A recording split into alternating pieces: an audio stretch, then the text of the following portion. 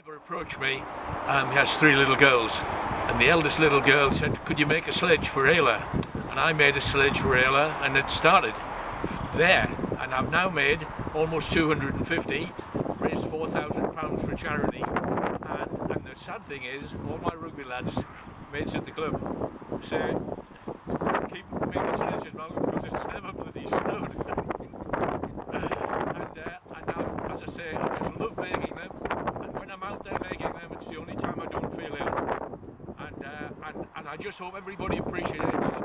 And and I thought the star man of um, England, Prince George, needed a sledge, so it will be off to him very very shortly.